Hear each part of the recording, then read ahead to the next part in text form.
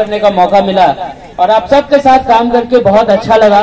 और आज इस कार्यक्रम को पिछले डेढ़ साल की मेहनत जो हमने करी थी, अभी आप सबने देखा जिन बच्चों ने अभी जो प्रोग्राम यहाँ पे दिखाया, मैं शुक्रगुजार हूँ अमीश सर का और पकड़ी दयाल अजगरवा पूरब के बच्चों का कि उन्होंने जो ये चीज़ दिखाई यहाँ पे, वो एक जो लोगों के बीच में ये बना हुआ है कि सरकारी स्कूल में बच्चे पढ़ते नहीं हैं या सरकारी स्कूल में के बच्चों के अंदर टैलेंट नहीं है।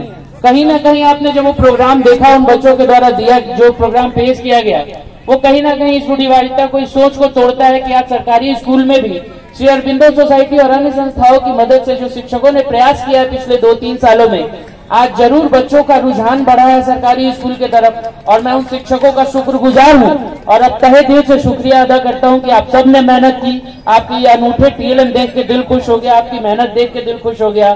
और आगे भी मैं आप सबसे उम्मीद करता हूँ कि ऐसे ही इस जेडा ई के प्रोग्राम को क्रियान्वित अपने विद्यालय में रखें। इसका अगला चरण जो इनोवेटिव पाठशाला है, जिसमें हमने आप सभी के लिए एक रूपरेखा तैयार की है, जहाँ पे जेडा ई में हमने आप सभी को नवाचारों का प्रशिक्षण कराया कि ये ग्यारह नवाचार है, इनको आप अपने विद्यालय में क्रियान्वित करें।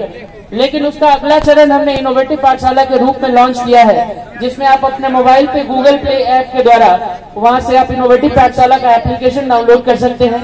डाउनलोड करने के बाद आपको कक्षा एक से लेकर कक्षा पाँच तक के सभी चैप्टर की पाठचर्या इन शून्य निवेश नवाचारों पर आधारित उसमें बनी बनाई मिल जाएगी, जिससे आपको और मदद होगी उस चीज़ को अपने बच्चों के क्लासरूम मैनेजमेंट को और अच्छे तरीके से सुधारने के लिए।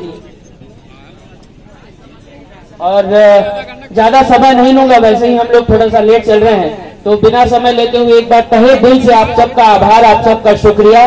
और धन्यवाद। थैंक यू सो मच इस प्रोग्राम को इतना सक्सेसफुल बनाने के लिए। Thank you so much